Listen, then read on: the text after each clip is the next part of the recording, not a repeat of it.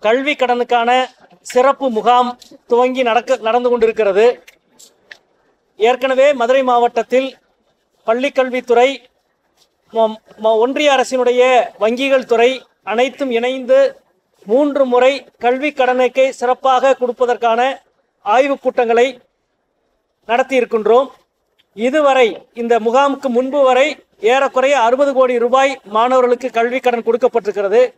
இன்றைய தினம் இன்றைக்கு யூனியன் பேங்க் வங்கி மட்டும் பத்தொன்பது மாணவர்களுக்கு ஒரு கோடியே பத்து லட்சம் ரூபாய் இப்பொழுது உடனடியாக வழங்குகிறது. இன்னும் பல வங்கிகள் இன்றைக்கு இதில் பங்கெடுத்திருக்கிற வங்கிகள் அனைத்தும் அனைத்து மாணவர்களும் கல்விக்கடன் கடன் தேவைப்படுகிற அனைத்து மாணவர்களையும் நாம் வர சொல்லியிருக்கிறோம்.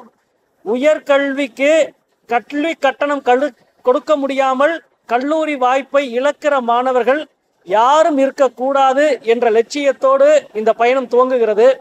ஒன்றிய அரசினுடைய நாடாளுமன்றத்தின் கல்வி நிலைக்குழு உறுப்பினர் என்ற முறையில் இந்தியா முழுக்க கல்வி கடனை தேவைப்படுகிற மாணவர்களுக்கு கொடுப்பது சம்பந்தமாக கடந்த இரண்டு ஆண்டுகளாக பல்வேறு ஆய்வுகளை நடத்தியிருக்கிறோம்.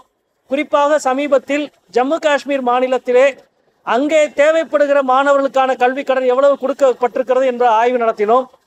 அங்கே சில சிறப்பு முயற்சிகளை ஒன்றிய அரசு செய்கிறது. ஆனால் எல்லோருக்கும் சட்டமும் விதியும் ஒன்றுதான். அதே விதிப்படி இங்கே இன்னும் கூடுதலாக நம்மால் கொடுக்க முடியும் என்ற ஒரு அக்கறையோடு நம்முடைய மாநில அரசும் மாவட்ட நிர்வாகமும் இணைந்து பல முயற்சிகளை மேற்கொண்டிருக்கிறோம். இந்த ஆண்டு தமிழகத்தில் மிக அதிகமான கல்வி கடன் கொடுத்த மாவட்டமாக மதுரை மாவட்டத்தை மாற்றுவது என்ற லட்சியத்தோடு நாங்கள் அனைவரும் இணைந்து இங்கே மாண்புமிகு அமைச்சர்கள் அதே போல வங்கி அதிகாரிகள் அனைவரும் உளப்பூர்வமாக இணைந்து ஈடுபட்டு கொண்டிருக்கிறோம். வங்கி அதிகாரிகளிடம் நாங்கள் கேட்டுக்கொள்வது கல்வி கடன் கொடுக்கிற விஷயம் என்பது ஒரு தனி நபருக்கு கொடுக்கிற கடன் அல்ல ஒரு தலைமுறைக்கு நீங்கள் கொடுக்கிற கடன். அந்த மனிதாபிமானத்தோடு இந்த பிரச்சனையை அணுக வேண்டும் என்று கேட்டிருக்கிறோம். அதற்கு ஒரு முன்மாதிரி மாவட்டமாக மதுரை மாவட்டத்தை மாற்றுவதற்கான ஒரு நல்ல முயற்சி இது என்ற அளவிலே என்னுடைய வார்த்தையை முடித்துக் கொள்கிறேன்.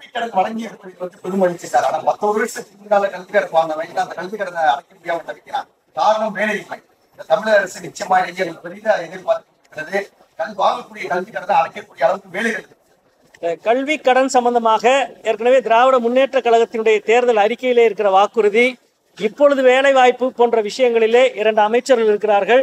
மாண்புமிகு பத்திரப்பதிவுத்துறை வணிகத்துறை அமைச்சர் மாண்புமிகு நிதி மற்றும் கல்வித்துறை அமைச்சர்.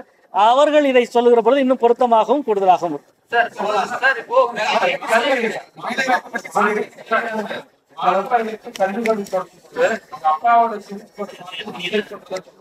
இல்ல சார் அது வந்து அதாவது இந்த முறை நாங்க வந்து ரொம்ப முக்கியமாக இந்த ஆய்வு கூட்டத்திலே வங்கி அதிகாரிகள் கொண்ட ஆய்வு கூட்டத்தில் நாங்கள் வந்து ரொம்ப க- கவனமாக பார்க்கிற ஆய்வு செய்கிற விஷயம் எத்தனை பேருக்கு கல்வி கடன் கொடுக்கப்பட்டது என்பதை விட யார் மனுக்கள் நிராகரிக்கப்பட்டது என்பதைத்தான் நாங்கள் ஆய்வு செய்கிறோம்.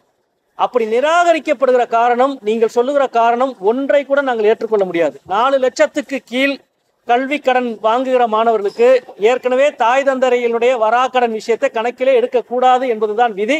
அது மதுரை மாவட்டத்தில் நூறு சதவீதம் அமுல்படுத்துவதற்கு வங்கி அதிகாரிகள் உறுதி தந்திருக்கிறார்கள்.